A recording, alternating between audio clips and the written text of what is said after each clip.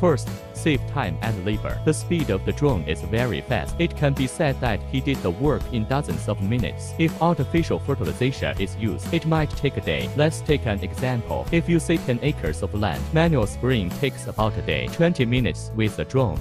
Therefore, the efficiency of drones is dozens of times higher than that of humans. If our crops have severe pests and diseases in the next life, came quickly, using drones to spray medicine can prevent and cure in time. Second, save water and medicine. If manual spraying is used, the sprayer is calculated according to 40 kgs of water. According to the habit of our peasant friends to spray medicine, usually 7 or 8 points. Go fast, you can hit an acre of land. What if you use a drone? One acre of land uses about 1 kilogram of water. That's 2 pounds of water. The dosage is the same as 1 acre of land. In sunny weather, drones use half as much medicine as nebulizers, or two-thirds. Dosage has been reduced by at least a third. Of course, if it is windy weather, there will be drift. There will be some waste. At the same time, if you encounter some pests with relatively high resistance, drones also need to increase the amount of medicine. Third, the high degree of atomization. The spray is very even. Sprinklers for agricultural drones. Usually ultra-fine atomizing nozzles, so the degree of fogging is very high. In addition, because its flight speed is basically uniform, so the spray is very even. It can also improve the control effect, whether it is fruit trees or wheat,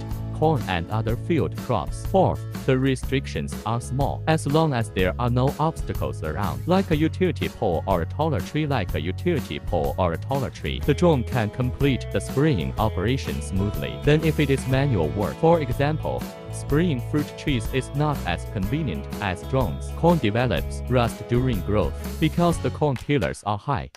Therefore, it is very inconvenient to manually spray medicine at this time.